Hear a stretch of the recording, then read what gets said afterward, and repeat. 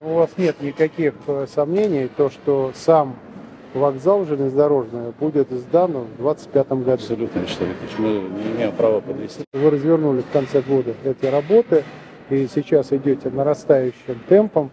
Нам важно, конечно, чтобы железнодорожный вокзал соответствовал. Это долгожданно для жителей. Не только внешне будет выглядеть намного лучше существующего, но и внутри это другой уже уровень, другие удобства, другие возможности. Вы фактически берете все лучшее от э, первоначального э, вида железнодорожного вокзала, вносите коррективы в соответствии с временем. Это лучше, чем то, что сегодня мы с вами имеем. Надеюсь, внутри у нас будет больше комфорта.